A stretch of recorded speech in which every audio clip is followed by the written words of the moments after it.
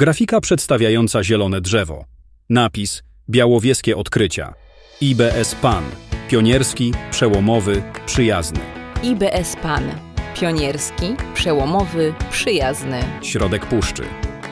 W sercu pradawnej Puszczy Białowieskiej, w pamiętającej wizyty polskich królów w miejscowości Białowieża, znajduje się jeden z najlepszych instytutów naukowych w Polsce.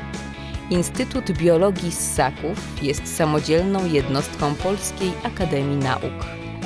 Założony w 1952 roku przez profesora Augusta Denela, wyrósł ze skromnej, kilkuosobowej stacji badawczej.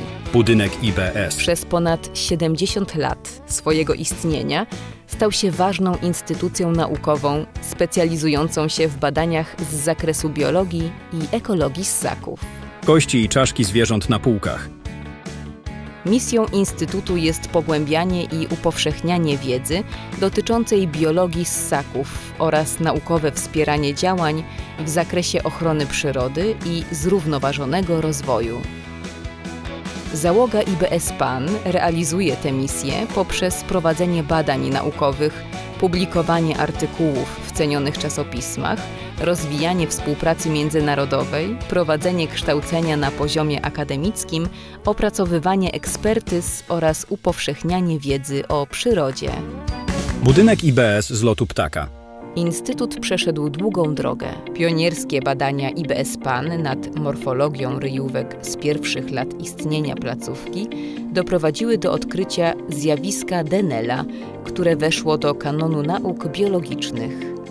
Kolejne dekady przyniosły następne sukcesy, jak nadzór naukowy nad programem reintrodukcji żubra, badania wolno żyjącej populacji żubra w Puszczy Białowieskiej i studium żubronia, czyli krzyżówki żubra i bydła domowego. Równie przełomowe były długoterminowe badania ekologiczne nad cyklami lat nasiennych drzew leśnych oraz ich wpływem na gryzonie i małe drapieżniki. Sowa. Prowadzone w końcówce XX wieku badania Instytutu pomogły także w zrozumieniu roli drapieżników w naturalnych ekosystemach. Ryś idący przez puszczę. Budynek IBS. Niemal od początku swojego istnienia Instytut wydawał czasopismo naukowe Acta Teriologica.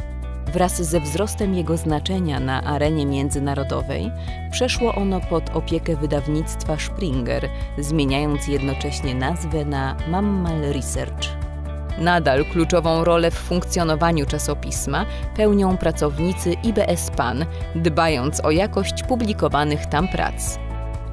Teraźniejszość Instytutu to przełomowe projekty badawcze, wykorzystujące nowe metody zbierania i analizy danych, w tym sztuczną inteligencję.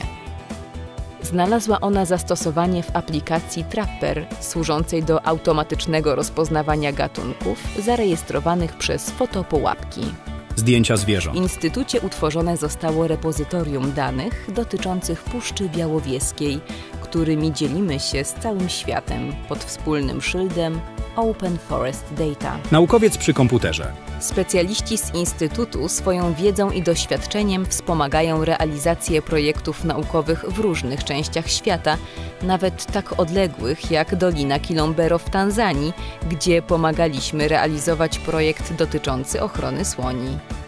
70 lat pionierskich badań, przełomowych odkryć i publikacji, które odbiły się szerokim echem w świecie nauki. To wszystko jest dziedzictwem, z którego współczesny Instytut jest bardzo dumny. Jednocześnie patrzymy w przyszłość cyfrową, związaną ze sztuczną inteligencją i nauką obywatelską, szukając nowych tematów i metod badań, by odpowiedzieć na wyzwania zmieniającego się świata. Widok na puszczę z lotu ptaka, a następnie na kulę ziemską. Logotypy. Instytutu Biologii Ssaków Polskiej Akademii Nauk w Białowieży. Społecznej Odpowiedzialności Nauki. Ministerstwa Edukacji i Nauki. Projekt Białowieskie Odkrycia. Popularyzacja badań Instytutu Biologii Ssaków Polskiej Akademii Nauk. Umowa numer SONP przez SP przez 513765 przez 2021 został finansowany przez Ministerstwo Edukacji i Nauki w ramach programu Społeczna Odpowiedzialność Nauki. Zdjęcia. Bartłomiej Wasilewski, Maciej Łuczyński. Montaż Kamil Pośnik, Łukasz Książek. Animacja Kamil Pośnik. Infografiki Tomasz Samojlik. W filmie zostały wykorzystane grafiki, zdjęcia i nagrania ze zbiorów IBS Pan. Grandson Media.